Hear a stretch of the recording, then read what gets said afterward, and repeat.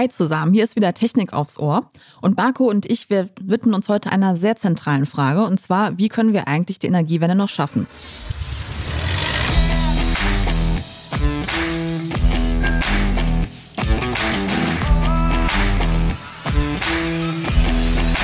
Technik aufs Ohr.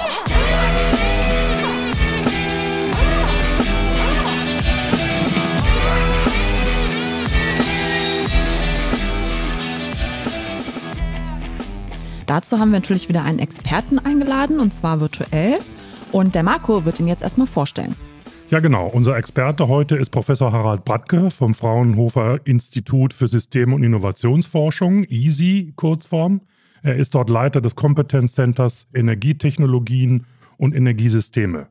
Und darüber hinaus ist er Vorsitzender der VDI-Gesellschaft Energie um Umwelt. Hallo, Herr Bratke. Hallo, hallo.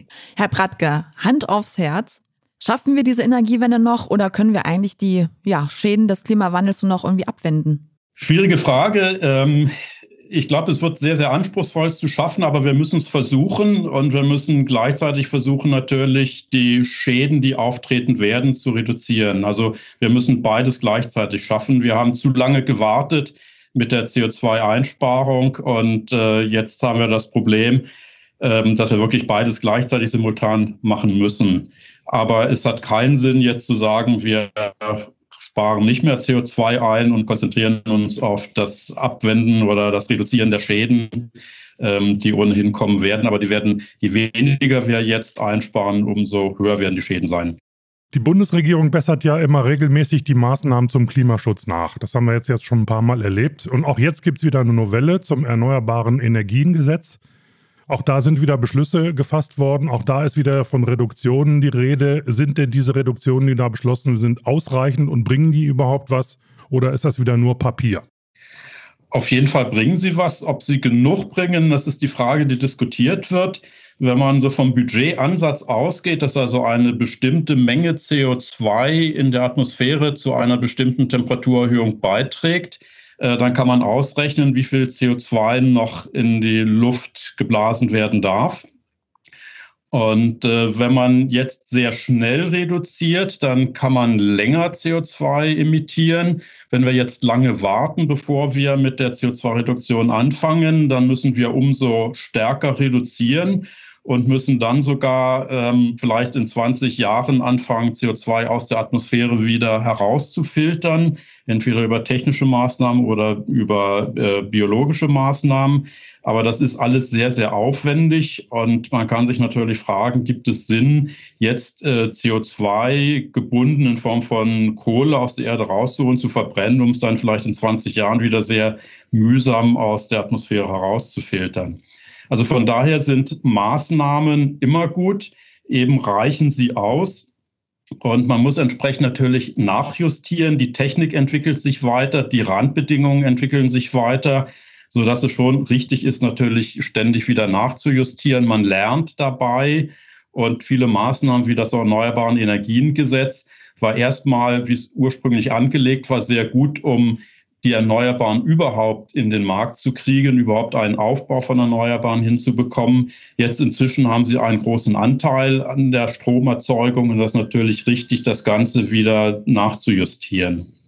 Ja, aus Ihrer Antwort ist ja jetzt eigentlich schon ähm, deutlich geworden, dass Sie die Transformation des Energiesystems fordern, schon seit längerem ja auch und auch der Meinung sind, dass die technischen Mittel dazu ausreichen und schon da sind.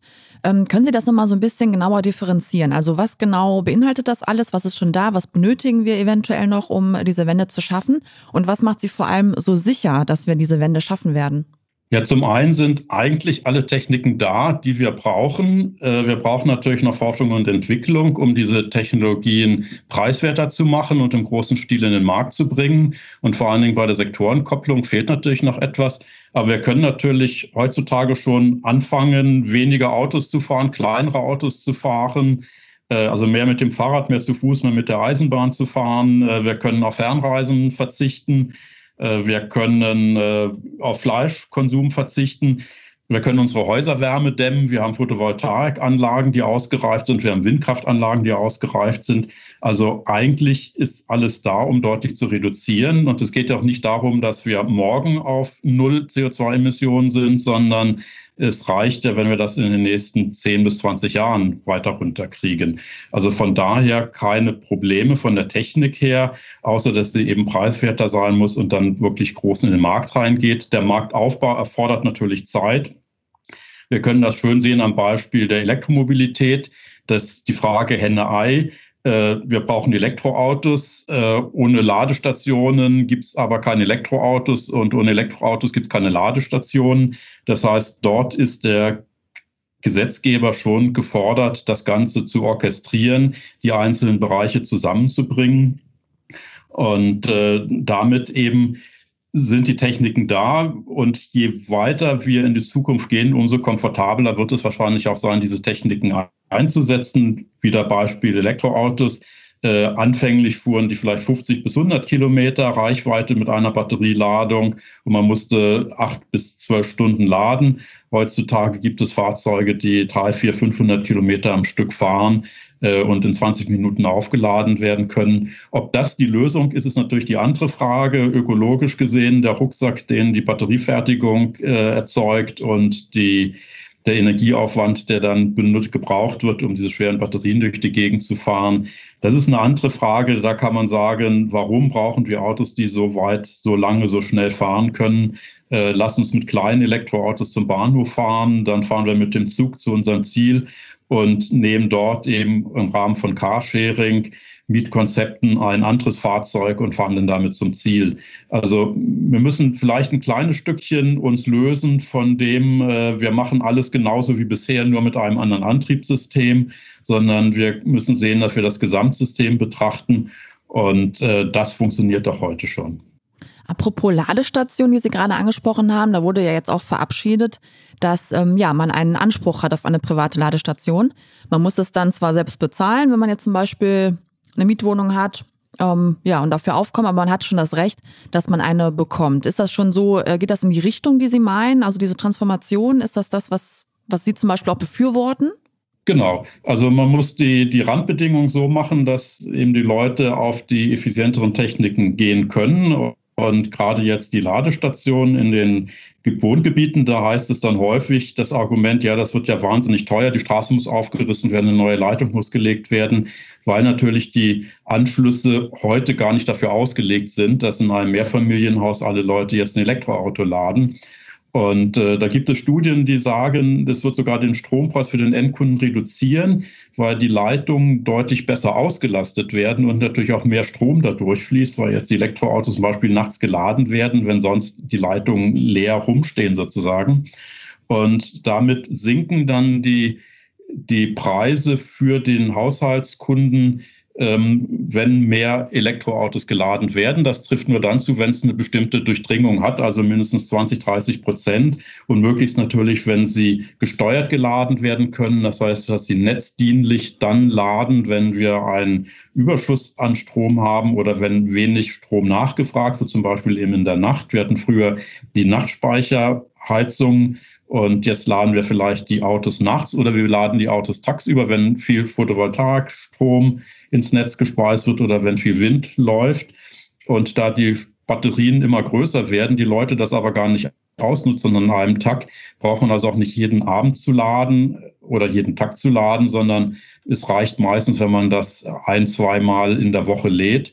Und ideal ist es natürlich, wenn dann der Arbeitgeber auch Ladestationen hat auf dem Firmenparkplatz, Werksparkplatz, eine Photovoltaikanlage vielleicht auf dem äh, Abschattungsdach, dass das Auto sich nicht so aufheizt, dieser Strom direkt in dem Auto geladen werden kann. Und durch die Steuerung der Ladestation ist es dem Netzbetreiber dann möglich, eben dieses Fluktuierende der Erneuerbaren ein Stück weit auszugleichen. Wenn ich da mal reingrätschen darf zum Thema Photovoltaik, äh, Herr Bratke, und ich nenne das Thema Windenergie im gleichen Satz. Da gibt es ja im Moment viele Diskussionen. Die Fördergelder laufen aus oder sollen reduziert werden. Bei der Windenergie gibt es eine Riesenproblematik. Wer darf Windenergieanlagen wo aufbauen? Abstände zu Wohnhäusern sind unterschiedlich. Also der Föderalismus schlägt dazu, aber die Politik, ich weiß nicht, bewegen die sich da in die richtige Richtung oder machen die da ein paar, ja, ich sag mal, ernstzunehmende Fehler bei diesem Thema Windenergie und Photovoltaik im Moment? Ja, das ist ein vielschichtiges Problem. Ähm, also das eine bei Wind und Photovoltaik. Viele Anlagen laufen demnächst aus der EEG-Förderung raus, also sind 20 Jahre gefördert, haben ihr Geld verdient, sind abgeschrieben. Und äh, im Moment ist es noch etwas unklar, ob diese Anlagen weiter betrieben werden dürfen. Äh, natürlich sollten die nicht mehr die volle Einspeisung bekommen, die vor 20 Jahren irgendwo bei 50 Cent die Kilowattstunde lag. Das ist natürlich nicht sinnvoll. Ähm, wenn Sie das im Moment auf dem Markt verkaufen, dann kriegen Sie nur 1, 2, 3 Cent, müssen teilweise sehr teure Messgeräte installieren, sodass es sich da nicht lohnt. Und da ist es wichtig, dass äh, dort ein Kompromiss gefunden wird, dass diese Photovoltaikanlagen weiter einspeisen können, dass die Betreiber die Möglichkeit haben, auch dass die Betreiber den Strom selber nutzen dürfen. Zum Beispiel, indem sie sich auch eine Batterie hinstellen im Keller und dann äh, Strom in den Abend hinein sich aufspeichern dürfen. Also dort sind Regelungen erforderlich. Und genauso bei der Windenergie nach den 20 Jahren laufen sie aus der Förderung raus. Am freien Markt werden die alten Anlagen wahrscheinlich nicht mehr die Kosten einspielen, die gebraucht werden, um Wartung und Reparatur zu bezahlen. Und es ist natürlich volkswirtschaftlich unsinnig, diese bestehenden Anlagen abzureißen, ähm, sondern dort sollten sie wenigstens das Geld bekommen, was eben für neue Anlagen bezahlt wird, oder die Möglichkeit bekommen, es weiter zu einkömmlichen Preisen laufen zu lassen. Abgeschrieben sind die Anlagen normalerweise, sodass es wirklich darum geht, die reinen Betriebskosten, Wartung, ähm, Schmierstoffe etc. reinzubekommen. Und das sind Probleme, die natürlich gelöst werden müssen. Das andere ist die Frage mit dem Ausbau. Und da dürfte bei Photovoltaik, bei Dachanlagen eigentlich gar kein Problem sein, ähm, dass man diese Dachanlagen äh, errichtet, weil die eigentlich niemanden stören. Photovoltaik, vielleicht noch ein kleiner Seitenschwenk. Es gibt die Balkon-Photovoltaikanlagen, also kleine Anlagen, die so etwa 200, 300 Watt erzeugen, die man sich an das Balkongeländer hängt und dann in die Steckdose einspeist und den Strom selber verbraucht. In Deutschland braucht es eine spezielle Einspeisesteckdose, die ein Elektrofachbetrieb errichten muss. In anderen Ländern wie Österreich reicht es ein normaler Schuko-Stecker, wie an jedem Elektrogerät ist, das einfach in die Steckdose zu stecken. In Deutschland muss man diese kleinen Anlagen mit, wie gesagt, 300 Watt, das sind so fünf alte Schreibtischglühbirnen, äh, muss man bei der Bundesnetzagentur anmelden. Man muss eine Besteinigung des Netzbetreibers haben, dass er die Netze nicht übermäßig belastet. Man muss einen Zwei-Wege-Stromzähler haben, der nicht nur den bezogenen Strom, sondern auch den möglicherweise eingespeisten Strom misst. Und das sind Maßnahmen, die eher zum Verhindern solcher Anlagen dienen. Natürlich werden die kleinen Balkon-Photovoltaikanlagen nicht die große Energiewende rausreißen, aber es ermöglicht Leuten, die eben zur Miete wohnen oder Studierende zum Beispiel oder Leute, die nur ein Dach haben, ein kleines Dach haben, was verschattet ist, wo es sich also nicht lohnt, eine große PV-Anlage draufzustellen, die können eben einen kleinen Beitrag zur Energiewende leisten. Und wenn sie sehen, wie wenig letztlich aus diesen Anlagen rauskommt, motiviert das vielleicht doch mehr auf Energieeffizienz, also sparsamen Strom Verbrauch zu gehen, hocheffiziente Kühlschränke, ähm, Waschmaschinen zu kaufen, weil sie sehen, wie mühsam das Reinholen des Stroms über die Photovoltaik ist. Und das natürlich dann nur funktioniert, wenn die Sonne scheint. Ähm, der, der letzte Punkt vielleicht mit Neubau von Windkraftanlagen. Da ist natürlich das Problem, dass viele Leute sich gestört fühlen, entweder durch die Optik dieser Windkraftanlagen oder durch Geräusche, die von den Windkraftanlagen ausgehen. Sind ja nicht mehr die kleinen, äh, niedlichen ähm, Windkraftanlagen der Anfangszeit, sondern sich vor so einer Windkraftanlage heute steht mit 100, 150 Meter Turmhöhe, mit Durchmessern von irgendwo, weiß nicht was, 100 Meter. Das sind riesige Industrieanlagen. Und im Norddeutschen gibt es sehr, sehr viele dieser Anlagen.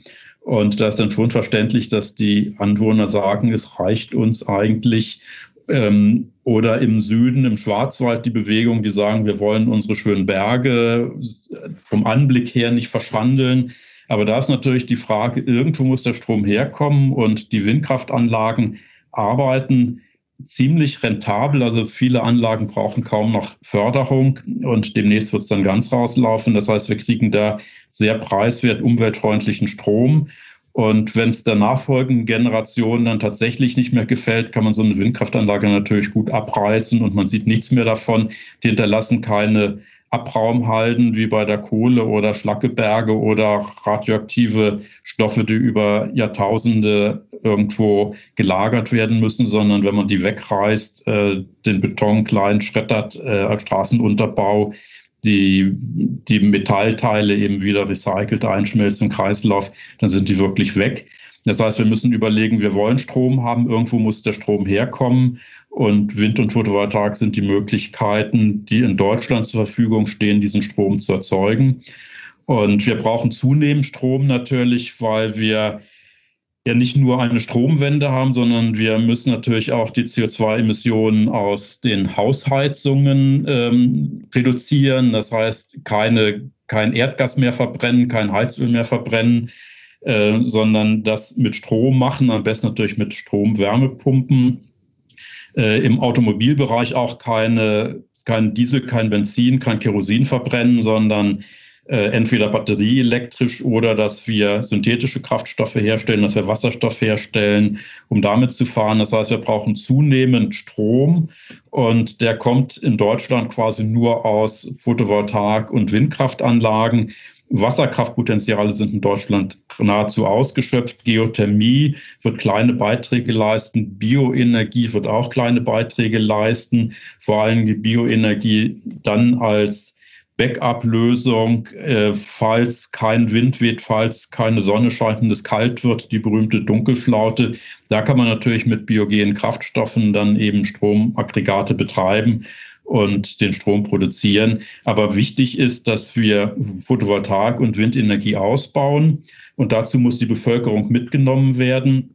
Und man sieht an den Protesten, dass doch viele Bürger sich dagegen wehren. Und ähm, deswegen ist es schwierig, wenn die Politik das durchdrückt, dann steigt der Widerstand. Wir müssen es also schaffen, die Bevölkerung zu überzeugen, dass sie eben gewisse Nachteile in der Optik, vielleicht im Schall haben, ähm, aber dafür eben letztlich es verhindern, dass der, äh, dass der Klimawandel weiter vorangeht. Mhm.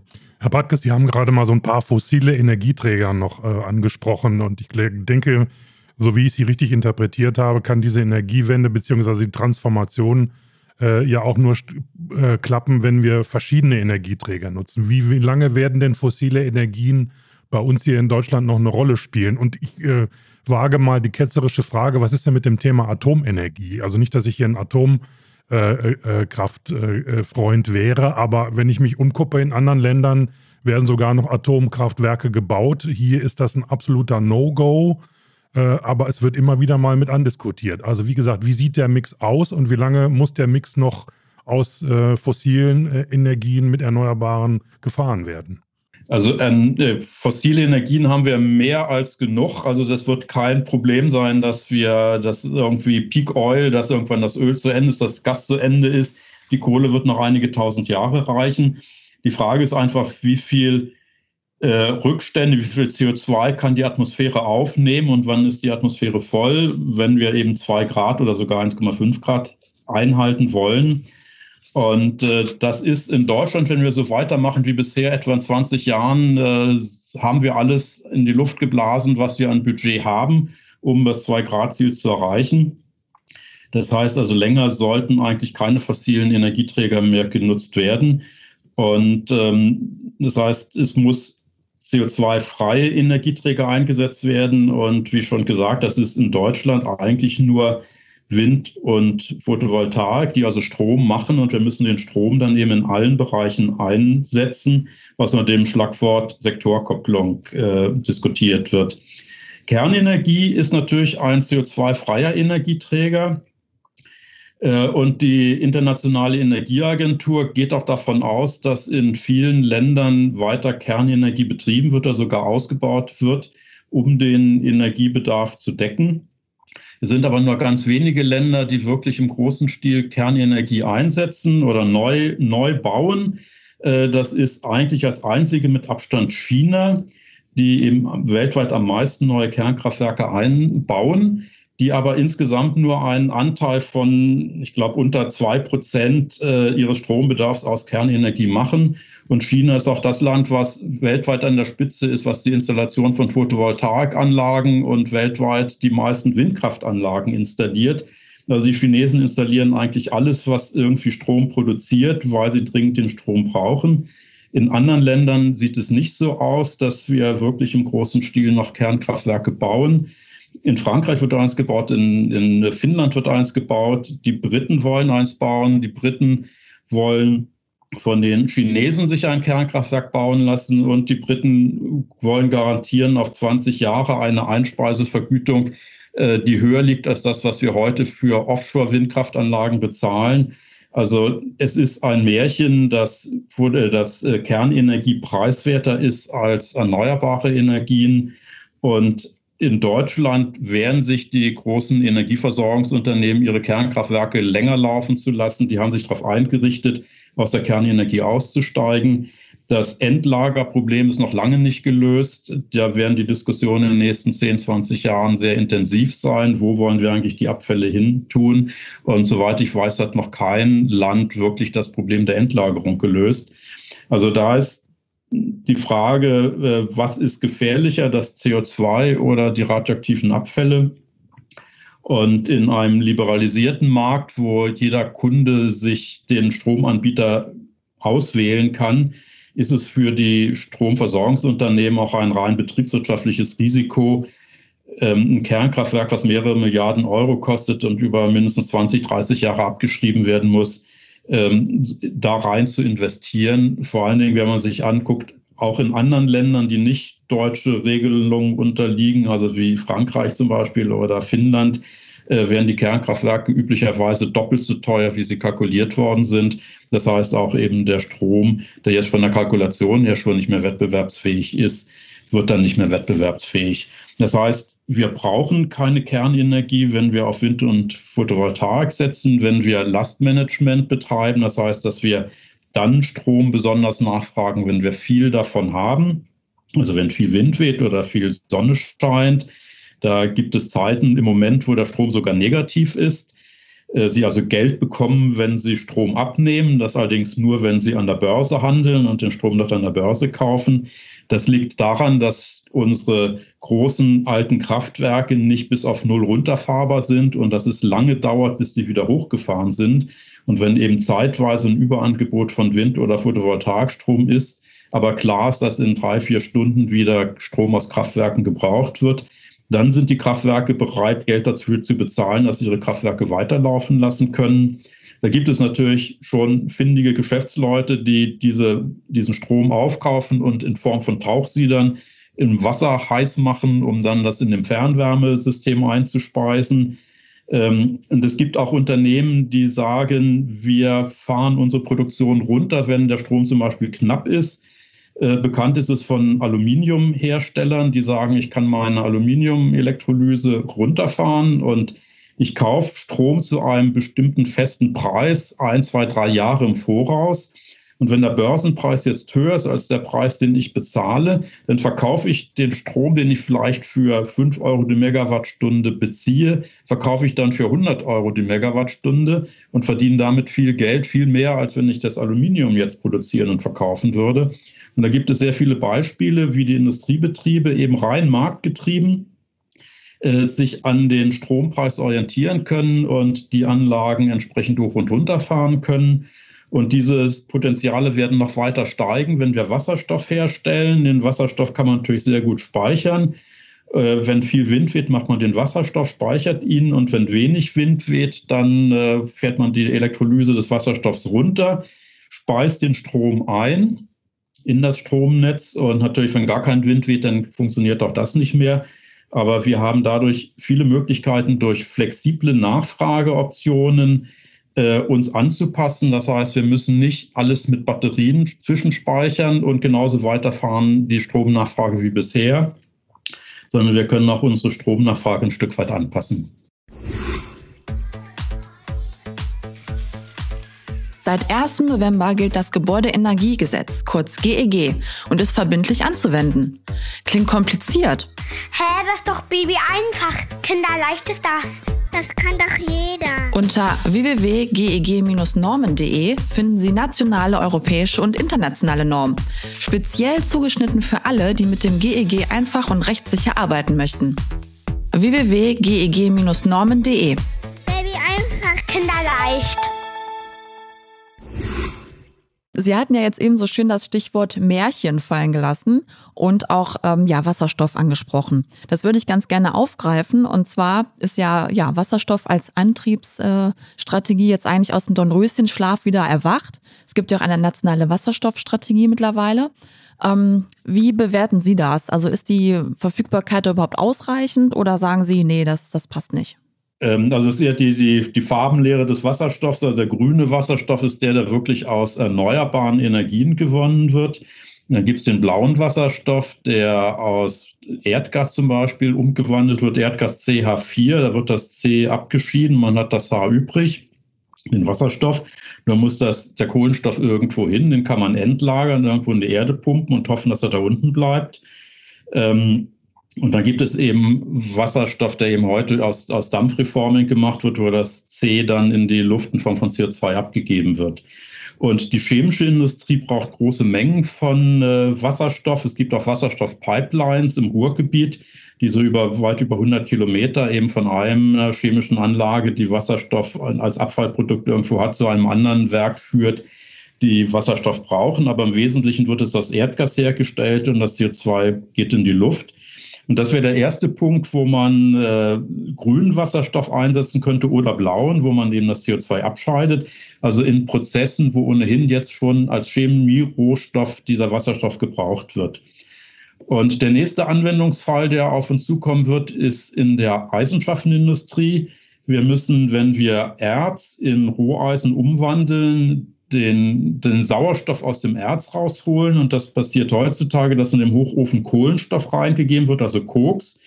Und das C des ähm, Kokses verbindet sich mit dem Sauerstoff, der chemisch gebunden in dem Eisenerz ist. Und raus kommt dann das Eisen und der Kohlenstoff, äh, das CO2. Und anstelle Kohlenstoff kann man auch Wasserstoff reingeben. Dann kommt eben auch das Fe, das Eisen raus und statt CO2 kommt H2O, also Wasser raus. Und daran wird intensiv gearbeitet, weil die Eisenschaftenindustrie ein sehr großer Emittent ist von CO2. Man kann das CO2 versuchen aufzufangen, abzuscheiden, umzuwandeln und wieder als Chemierohstoff zu verwenden. CCU, Carbon Capture and Utilization. Oder man kann den Kohlenstoff eben, wenn man ihn eingefangen hat, irgendwo speichern. CCS, Carbon Capture and Storage. Das sind also die ersten beiden Anwendungsfälle vielleicht, wo man wirklich sehr sinnvoll Wasserstoff einsetzen kann. Und dann Wasserstoff hat einen sehr hohen Energieinhalt. Das heißt, für schweren Lastverkehr, also für schwere Lastkraftwagen, für Schiffe, für Flugzeuge ist heutzutage naheliegender, die mit Wasserstoff CO2-frei zu betreiben als mit Batterien. Also ein Flugzeug mit Batterien ist im Moment für kleine viersitzige, zehnsitzige Maschinen vorstellbar, aber nicht um jetzt 1000 Kilometer mit 50 oder 100 Leuten zu fliegen. Da war jetzt gerade durch die Presse gegangen, dass Airbus drei verschiedene Konzepte verfolgt, also mit Wasserstoff zu fliegen. Ähm, das wird, das wird sicherlich so ein Anwendungsfall sein. Was ich nicht glaube, ist, dass Wasserstoff im größeren Stil in den Privat-Pkw-Bereich gehen. Also diese Idee, äh, mit Brennstoffzellen den Strom zu erzeugen und äh, dafür für die Brennstoffzelle eben Wasserstoff an Bord zu haben. Dort sind die Umwandlungsverluste zu hoch. Man kann also mit einer Kilowattstunde Strom in Form von Batterie drei, viermal so weit fahren, als wenn man aus dem Strom erstmal Wasserstoff macht, den Wasserstoff komprimiert in das Auto packt und dort dann eben in der Brennstoffzelle Strom erzeugt. Ist halt auch nicht für wirklich äh, wahrscheinlich, dass wir aus dem grünen Wasserstoff den dann wieder zur Stromerzeugung einsetzen, sondern da denke ich eher, dass man sich ein bisschen, ähm, also Biomasse aufhebt, und Biogas zum Beispiel und dieses Biogas dann in ähm, Gasturbinen verbrennt, um in der Dunkelflaute dann Strom zu haben. Also Wasserstoff ist unbedingt notwendig, spielt eine wichtige Rolle. Die Mengen, die, Wasser, die wir an Wasserstoff brauchen, sind allerdings gigantisch. Der Verband der chemischen Industrie hat ausrechnen lassen, sie könnten komplett auf Wasserstoff setzen als Energie, äh, als, als Rohstoff äh, gegenüber fossilen Rohstoffen, aber dann brauchte man, ich weiß es nicht mehr genau, das ist etwa dieselbe Menge, glaube ich, Strom, die heute in ganz Deutschland für alle Anwendungsfälle verbraucht wird, nur um Wasserstoff für die chemische Industrie zu produzieren. Das heißt also, dort sind sehr große Mengen nötig. Deswegen wird diskutiert und auch angefangen zu planen, dass wir Wasserstoff importieren aus anderen Ländern, wo viel Sonne scheint. Da muss man natürlich sehen, dass man nicht nur die Sonne oder den Wind braucht, sondern um Wasserstoff zu produzieren auch Wasser braucht. Das heißt, wenn ich so eine Anlage in die Sahara stelle, dann muss ich sehen, wo kommt das Wasser her. Ähm, von daher würde man wahrscheinlich die Anlagen eher an der Küste hinstellen, den Strom dann zum Beispiel aus der Sahara an die Küste, dann Meerwasserentsalzungsanlagen hinstellen, um das Wasser zu gewinnen, dann den Wasserstoff in äh, verflüssigen in Tankschiffe packen und mit den Tankschiffen eben dann zu den Zielen fahren. Wenn man sich diese ganze Kette vorstellt, ist das recht aufwendig. Die Diskussionen sind in einigen Ländern, die Sonnen, die in Frage kämen, sind die politischen Systeme recht instabil und große Investitionen zu tätigen. Länder mit instabilen Randbedingungen ähm, werden die Banken auch nicht so sehr bereit sein, Geld dafür zu geben und die Unternehmen dort zu investieren. Äh, deswegen ist zum Beispiel Australien äh, als Idee entstanden, und wenn man das sich weiter überlegt, wir bauen also große Windkraft- und Photovoltaik- oder Solarthermieanlagen in, der, in Australien auf, äh, machen den Wasserstoff und fahren den mit Schiffen um die halbe Welt, um es hier wieder zu verstromen. Und wenn man gleichzeitig weiß, dass Australien große Mengen seines Stroms bisher aus Kohlekraftwerken äh, herstellt, dann kann man sich überlegen, bauen wir denen nicht lieber die Photovoltaik-Windanlagen auf, äh, die verzichten auf ihren Kohlestrom und wir verzichten auf den Wasserstoff und verbrennen hier weiterhin die Kohle aus der Lausitz.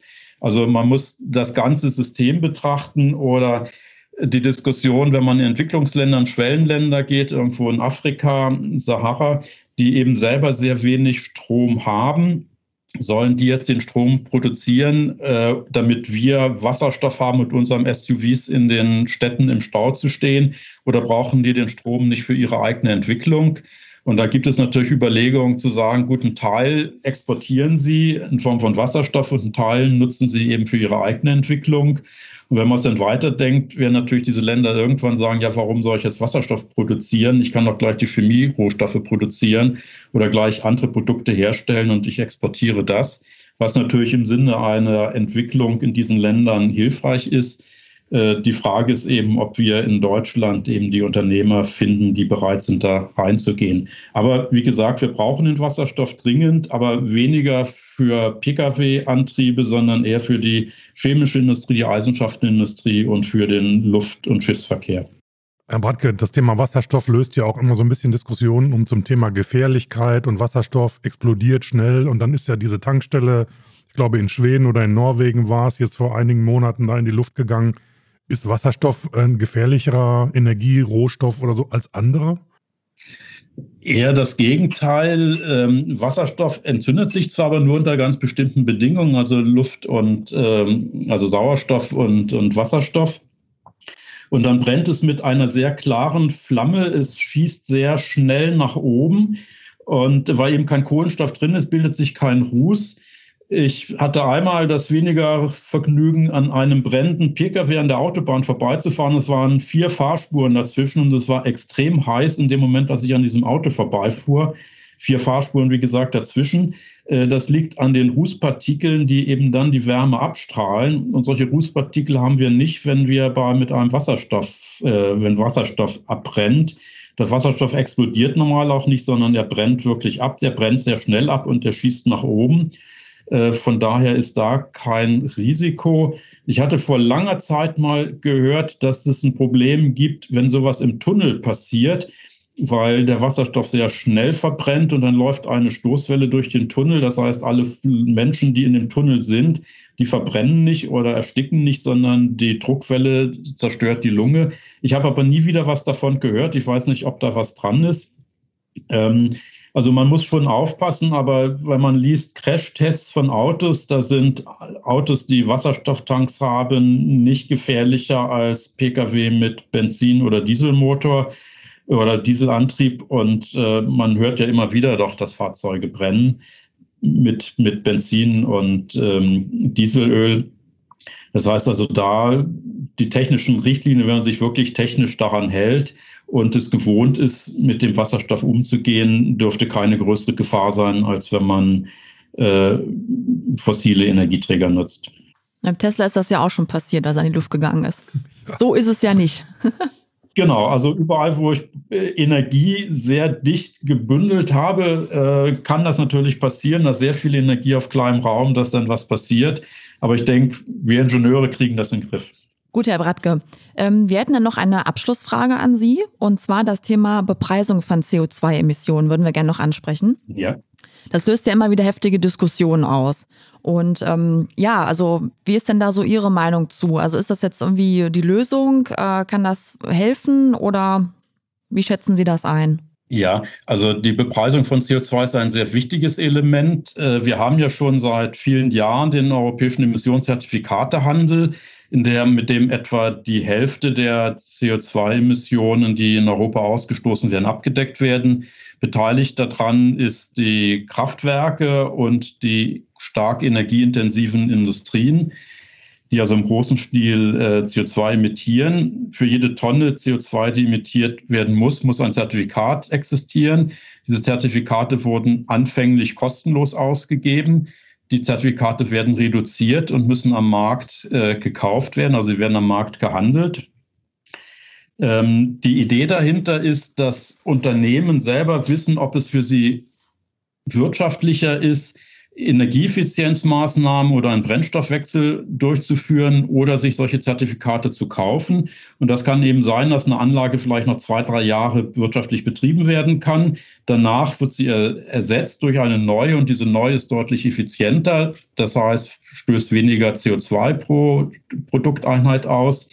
Das heißt, für die Unternehmen ist es sicherlich interessanter, zwei, drei Jahre sich Zertifikate am Markt zu kaufen, danach eine wirklich super effiziente Anlage hinzustellen, dann mehr Zertifikate zu haben, als sie zugeteilt bekommen haben oder weniger am Markt kaufen müssen oder die übrigen Zertifikate am Markt verkaufen. Dass also die Unternehmen selber entscheiden können, ähm, was ist preiswerter, Reduktion von CO2 oder die Zertifikate kaufen.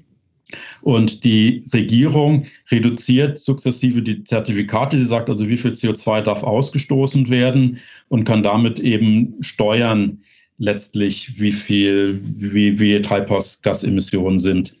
Ähm, wie gesagt, das ist nur etwa die Hälfte und die Überlegung ist, ob man das eben auf die Endverbraucher ausdehnt, also zum Beispiel auf die Haushalte oder auf die Pkw-Nutzer und nun ist es natürlich nicht handhabbar, dass äh, jeder Hausbesitzer irgendwie zum Markt geht und sich Zertifikate kauft für jede Tonne CO2, die er ausstößt, sondern das würde wahrscheinlich dann von den Händlern gemacht. Also der Tankstellenbetreiber bzw. der Mineralölkonzern, der die Tankstelle betreibt, würde dann eben solche Zertifikate kaufen und äh, der Heizölhändler eben entsprechend auch. Das ist diese eine Möglichkeit, dass man das dem Markt überlässt. Die andere Möglichkeit ist, dass man eine Art Steuer auf diesen CO2-Ausstoß erhebt. Äh, das kann man direkt auf den Brennstoff umlegen, auf das Erdgas oder das Heizöl, was man hat. Damit verteuert man den Einsatz von fossilen Energieträgern und dadurch wird es halt wirtschaftlicher für das einzelne Unternehmen, für den einzelnen Kunden, wenn er sein Haus zum Beispiel wärmedämmt, ein sparsameres Auto fährt oder gleich auf Elektromobilität oder auf eine Wärmepumpe umsteigt. Ähm, das ist so in der Theorie, passt das alles sehr gut. Jetzt sehe ich da zwei Probleme bei dieser Bepreisung dass zum einen jetzt im Hausbereich gibt es ja viele Leute, die zur Miete wohnen. Der Mieter bezahlt die Heizkosten und der Vermieter bezahlt eben die Umrüstung der Heizung oder die Wärmedämmung am Gebäude. Und der Hausbesitzer hat natürlich kein großes Interesse, jetzt für seinen Mieter Geld einzusparen und der Mieter hat keine Reaktionsmöglichkeiten. Ähm, ähnlich ist es dann das Problem beim, beim Autoverkehr zum Beispiel. Ähm, die CO2-Aufschläge, die zum Beispiel Industrien, die im internationalen Wettbewerb stehen und sehr CO2-intensiv sind, die dort diesen Unternehmen massive Bauchschmerzen machen würden bezüglich ihrer internationalen Wettbewerbsfähigkeit. Das merkt ein Autofahrer gar nicht. Ähm, wenn der Benzinpreis um zwei, drei Cent pro Liter steigt, das ist das, was er von zwischen morgens und abends pendelt. Ähm, das heißt, das sind keine Lenkungswirkungen, weil die Zahlungsbereitschaft der Automobilbesitzer größer ist. Ähm, das heißt, wenn man also einen einheitlichen CO2-Preis nimmt, den die Volkswirte favorisieren, weil das eben dann wirklich volkswirtschaftlich gesehen ähm, gleich bepreist, äh, hat aber unterschiedliche Wirkungen äh, auf die einzelnen äh, Teilnehmer am Markt. Und von daher favorisiere ich durchaus auch Gesetzesänderungen, dass man also Vorschriften macht, wenn ein Haus neu gebaut wird, dass man dann bestimmte Effizienzstandards einhält oder bei den Pkw, dass bestimmte CO2-Grenzwerte vorgegeben werden, die einfach eingehalten werden müssen. Ähm, und wahrscheinlich wird es ein Mix sein. Also wir brauchen die CO2-Bepreisung, damit es sich rechnet, äh, in CO2 einzusparen, dass es preiswerter ist, CO2 einzusparen. Und wir brauchen Gesetze da, wo diese Marktmechanismen nicht wirklich greifen, weil die Zahlungsbereitschaft zu groß ist oder weil die Akteure nicht tatsächlich handeln können. Und dann ist natürlich die Frage mit der Wettbewerbsfähigkeit, wenn jetzt Europa strenge CO2-Preise einführt und andere Länder, sagen wir mal zum Beispiel China, aber auch China hat einen Emissionszertifikatehandel in China, die arbeiten auch daran. Aber angenommen eben ein Land, was die, wo die CO2-Emissionen nichts kosten, dann würde es natürlich billiger sein, die Produkte, also zum Beispiel den Stahl in so einem Land ohne eine CO2-Bepreisung zu kaufen. Das heißt, die europäischen Stahlunternehmen würden nichts mehr verkaufen können, würden Konkurs gehen, wir würden Arbeitsplätze verlieren und wir würden allen Stahl aus diesem anderen Land kaufen. Und ähm, möglicherweise sind sogar die CO2-Emissionen in dem Land höher. Dann haben wir dieses, was unter dem Schlagwort Carbon Leakage, also Leckage, ähm, gemeint ist. Wir verlieren hier Arbeitsplätze, wir verlieren hier Wertschöpfung und produzieren in Ländern mindestens mit der gleichen Menge an CO2, vielleicht sogar noch höher und damit ist nichts gewonnen. Und deswegen gibt es die Überlegung Grenzausgleichsabgaben, also so eine Steuer auf die CO2-Emissionen, die bei der Herstellung eines Produktes in einem anderen Land anfallen, die nicht zu so einem CO2-Regime unterliegen. Und da wird es natürlich dann beliebig kompliziert. Äh, manche Länder haben solche Maßnahmen nur nicht ganz so streng wie in Europa. Wie verrechnet man das? Und wird sowas nicht dann als Wettbewerbsverzerrung, als Schutzzölle gesehen? Das, was jetzt im Moment äh, gerade USA und China mit Europa ähm, macht. Also gibt es da nicht dann vielleicht massive wirtschaftliche oder internationale Handelskonflikte dann, wenn sowas eingeführt wird? Aber ich denke, wenn das vernünftig kommuniziert wird, kann man das durchführen. Nämlich die Industrieunternehmen sagen, alles okay, wir machen jede CO2-Reduktion mit, wenn der Wettbewerber das auch macht, weil dann ist die Wettbewerbsfähigkeit hergestellt und dann interessiert es eigentlich den Industriebetrieb weniger, wie viel insgesamt dafür bezahlt werden muss, wenn es dann wirklich teurer ist. Aber wenn eben einige diesem Reglement unterliegen und andere nicht, dann führt es eben zu Wettbewerbsverzerrungen. Aber wie gesagt, das kann man in den Griff kriegen. Es wird schwierig, aber es funktioniert. Und die Ausrede, wir können jetzt nichts machen, das muss mindestens international abgestimmt werden, dann kommen wir nicht voran, dann äh, werden wir es nie schaffen, weltweit unsere CO2-Reduktionsziele zu erreichen. Okay, prima. Mein Gott, ein echt komplexes Thema. In dem Zusammenhang würde ich ganz gerne auf eine Veranstaltung hinweisen. Da gibt es am 27. Oktober ein VDI-Expertenforum, das heißt Emissionshandel, Klima und Wirtschaft gemeinsam schützen. Wer daran Interesse hat, kann nachschauen. Auf www.vdi.de unter Veranstaltungen findet man nähere Informationen diesem Expertenforum. Super. Ich hätte auch noch einen Hinweis und zwar haben wir ja jetzt äh, ja des Öfteren die Windenergie angesprochen in dieser Folge und wir haben dazu auch eine ja extra Folge bei Technik aufs Ohr mit einem Plant Manager Und da geht es um Offshore-Anlagen in der Ostsee. Also wer da nochmal reinhören möchte und sich für dieses Thema interessiert, das wartet auf jeden Fall überall, wo man Podcast streamen kann. Herr Bratke, herzlichen Dank. Äh, das war, man merkt, Energie und Energiewandel und Transformation ist ein riesenkomplexes Thema für Otto-Normalverbraucher, echt schwer durchschaubar. Aber ich glaube, Sie konnten als Experte heute dem einen oder anderen sicherlich ein paar gute Informationen geben äh, und auch verbraucherorientierte Informationen geben. Dafür ganz herzlichen Dank. Dankeschön, Herr Bratke. Ja, ich würde sagen, das war's für heute, für diese Ausgabe. Wir freuen uns, äh, wenn ihr uns äh, ein Feedback gebt, wie es euch gefallen hat, was wir anders, was wir besser machen könnten. Unter podcast.vdi.de freuen wir uns auf eure Nachrichten. So ist es. Und uns gibt's jetzt auch bei Amazon Podcast zu hören. Also wer da gerne unterwegs ist und Amazon Music hört, der kann uns da jetzt auch abonnieren. Das war's für heute und wir freuen uns schon auf das nächste Mal.